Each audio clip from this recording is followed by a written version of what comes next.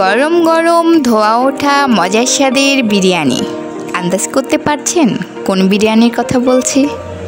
আমি কাচ্চি ভাইয়ের কাচ্চির কথা বলছি। শুরুর দিকে উপচে পড়া ভিড়ের জন্য পরে আসার সিদ্ধান্ত নেই। সেই কথা মাথায় রেখে আজ চলে আসলাম কাচ্চি ভাইয়ে। এটির অবস্থান নিউ মার্কেটের ঠিক বিপরীতে দ্বিতীয় তলায়।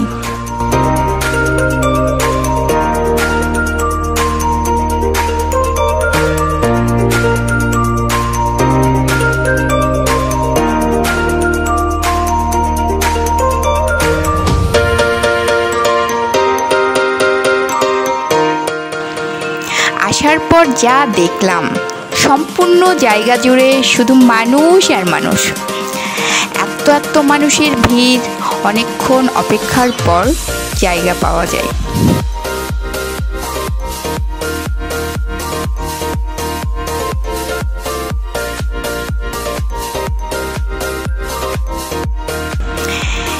এরপর অর্ডার করলাম মেনুর তিন নাম্বারটা অর্ডার করার পর অবশ্য বেশি সময় নেয়নি। এরপর হাজির হলো একদম গরম গরম ধোয়া ওঠা কাচ্ছি এটাতে ছিল ছয় পিস বড় বড় মাটন আর তিন পিস বিশাল সাইজের আলু, তিনটা বোরহানি ও তিনটা ফিন্নি। এবার স্বাদ গ্রহণের পালা।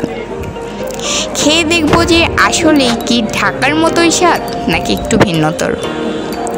তবে আমি আলু পোকরার চাটনিটা খুঁজছিলাম। সে যাই হোক, প্রথমে একটু মাংস ও আলু দিয়ে মেখে খাই।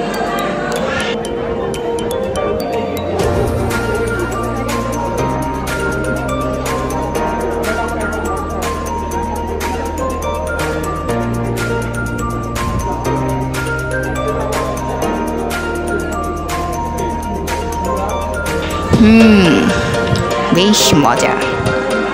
খুব ভালো লেগেছে আমার কাছে।